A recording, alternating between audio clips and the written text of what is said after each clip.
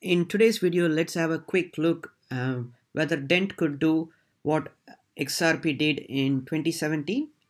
So I'm going to share some um, highlights on what happened uh, with XRP in 2017.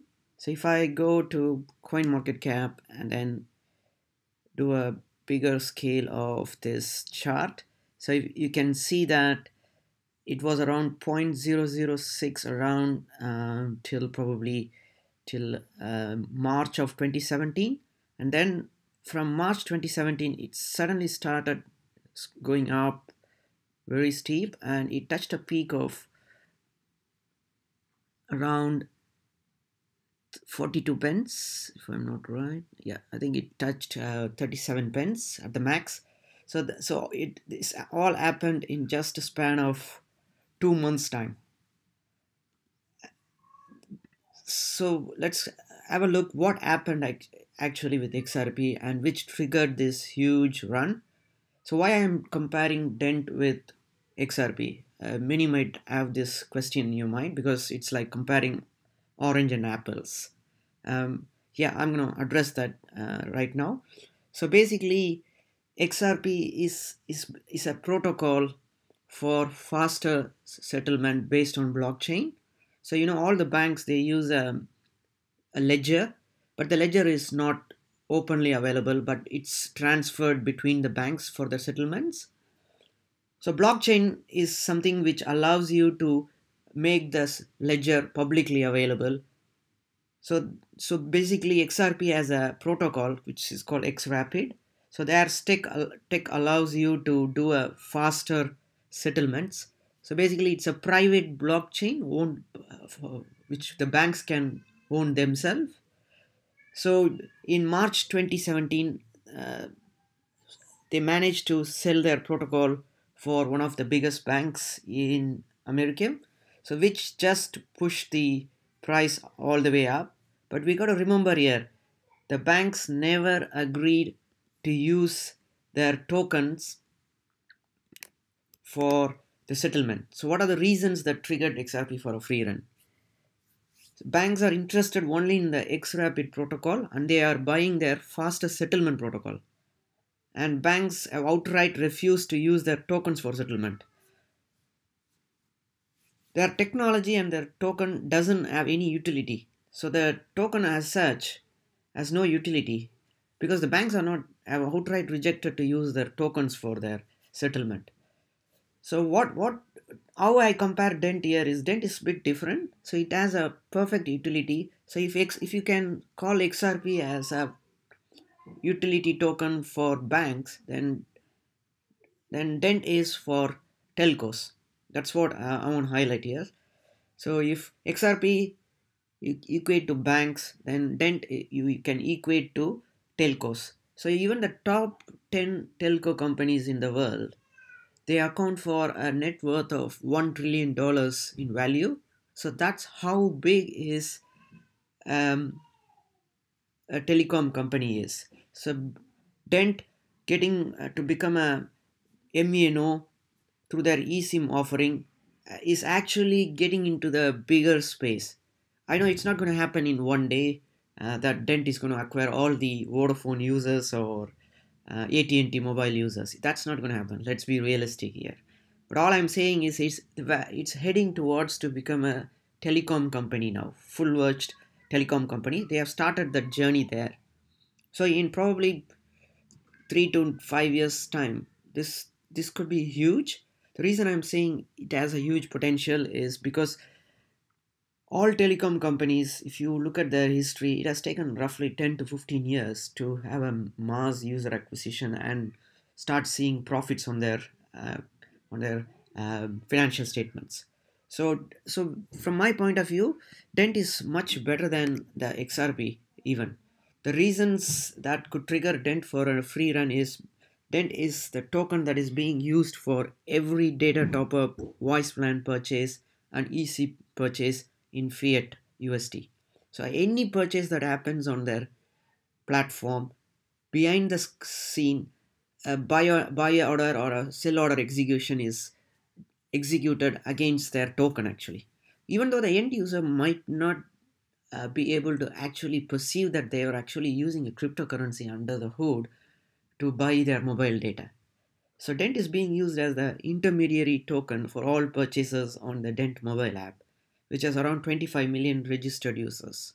I know quite a lot of people have been asking um, this particular solution that Dent is doing doesn't need a need for a token, right? You can do a buy a data purchase or eSIM like conventional method, and there's no need for a blockchain here. Yep, but the thing is, how do you how do I exchange value between a user? So, like say I have excess mobile data, how do I and I am with AT&T mobile network. So if I want to sell my excess mobile data or even uh, bother uh, buying some mobile data and try it from another vendor. So it, those cannot happen if you don't have an intermediary settlement layer, which is independent of the fiat currencies because the mobile users are around the world, distributed in 190 countries, and there are 8 billion smartphone users. Imagine if everyone comes and buys only using their fiat, the commission that you have to pay for the fiat purchase is going to be huge.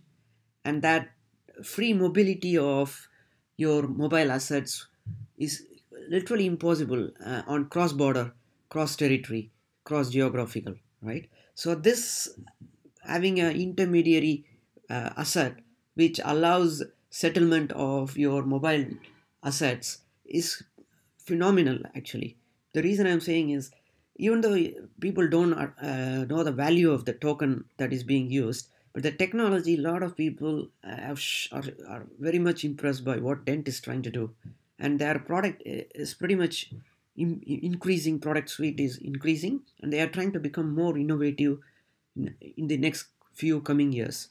So if XRP could do such a free run, and you can see it ran all the way from 0.006 uh, to 37 cents.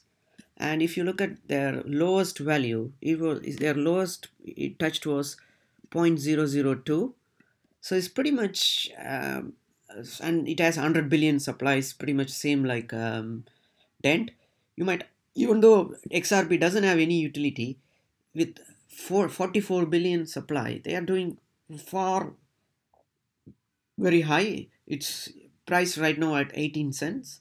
So imagine the, the story with Dent is pretty different because Dent is as a utility. So if I hold my Dent uh, token um, in the app for few weeks, I get free voice minutes.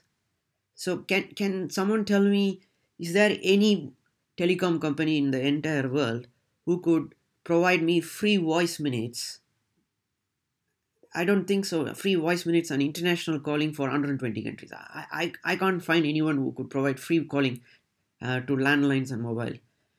And the tokens that you buy and lock it up in their loyalty program called Afterburner. So their loyalty program is called Afterburner.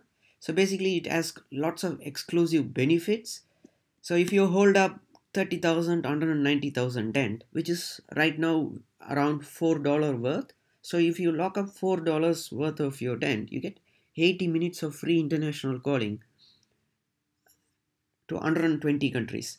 I haven't seen any telecom company that provides free voice calling.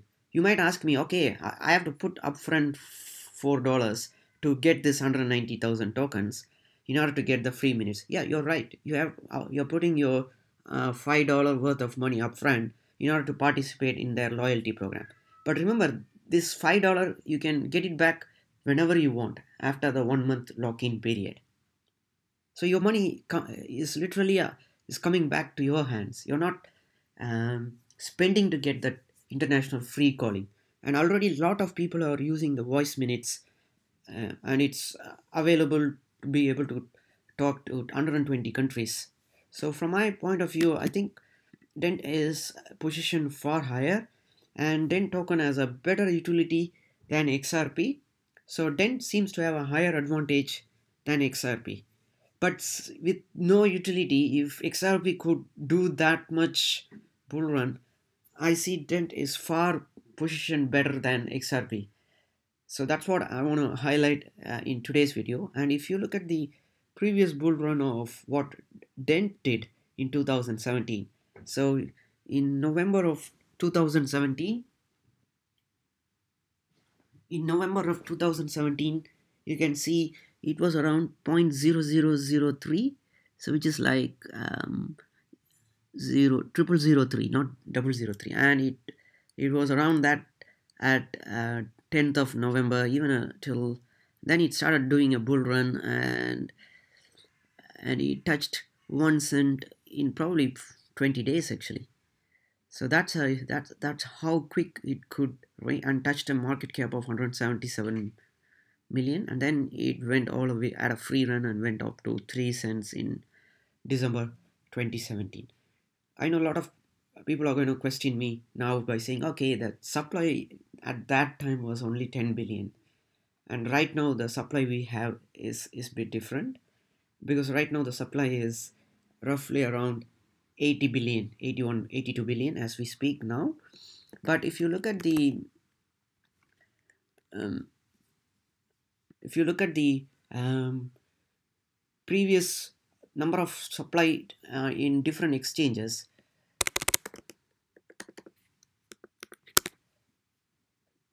I want to show you this chart today so basically if you look at the balance in different exchanges right now the the actual balance in different exchanges is roughly around 30 billion. So we are not actually that far. So even though there are 82 billion circulating supply of Dent actually only close to 30 billion is actually circulating in the different crypto exchanges. So what we are seeing is probably uh, three times more is what actually revolving around the exchanges. So the the tokens on the exchanges are the uh, are are available for liquidity instantly than the ones sitting in the cold wallets. You know what i mean? So there are tokens even though there are 82 billion supply there are lots of big wallets um, they all are those tokens are sitting in the cold wallets and not instantly available for liquidation. So i guess dent has a better far position to do um, um, than xrp so and hope uh, we could see a uh, in probably two to three years period time if dent emerges as a big telecom company by more um, acquiring more users and releasing more product suites i think we have we could see higher returns in the long run. This is not a financial advice uh, let me make it very clear. Uh, this is just an uh, my own opinion personal opinion based on what dent has been doing in the recent years. Thanks thanks for watching and have a good day